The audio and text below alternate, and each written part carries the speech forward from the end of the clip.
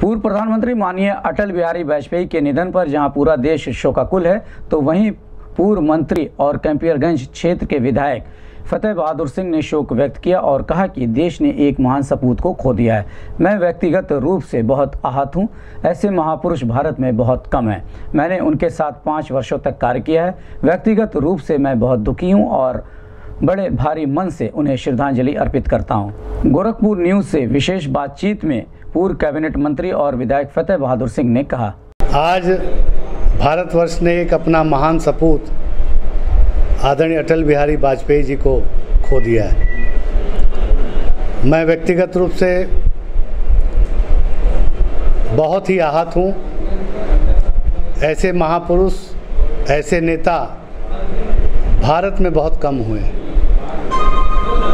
जब भारत के इतिहास की बारे में चर्चा होती है तो देश सोचता है। किसने चिंता की भारत और पाकिस्तान की सीमाओं की? किसने चिंता की भारत और चाइना के बीच में जो विवाद थे?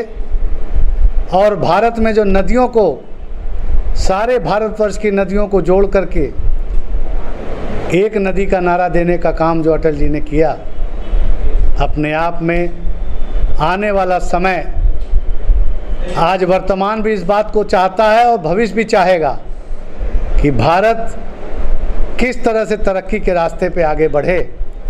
जिस दिन सारी नदियाँ एक हो जाएँगी, हमारा देश अपने आप, हमारा किसान अपने आप संपन्न हो जाएगा। और जिस दिन किसान संपन्न हो जाएगा, जो माननीय मोदी जी ने नारा दिया है, किसान की आय दुगनी करने का। निश्चित रूप से उस दिन इस देश का उत्थान हो जाएगा।